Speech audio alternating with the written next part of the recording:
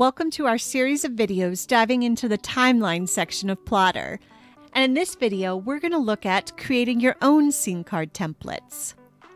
So in each scene card, you can create custom attributes either in the Attributes tab of the scene card or in the Attributes button in the Timeline toolbar.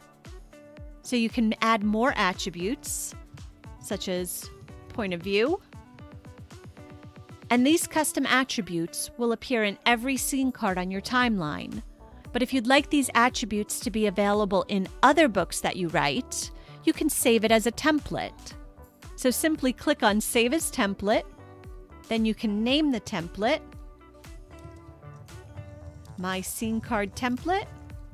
You can write a description, put in a source link, and simply click Save.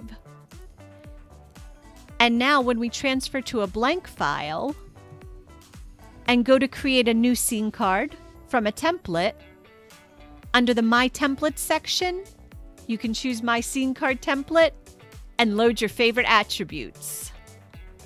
And now we can give our scene card a name, My New Scene, and when we open up the details of the scene card under the Attributes section, we'll see our new attributes have been created. So that concludes our brief overview of saving your own scene card templates. If you have any questions, leave them in the comments below and make sure to subscribe to the channel for all our latest updates and information. And if you found the information useful, make sure to give the video a thumbs up. And I'll see you in the next video.